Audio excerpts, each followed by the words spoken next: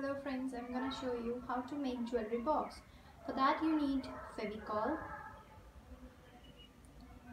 sheets, these are sparkle sheets, cardboard, uh, crystal beads, this box, uh, I have taken this box uh, of 11.4 uh, into 18 centimeter, uh, one scale, pencil, and this is 3D outliner so let's start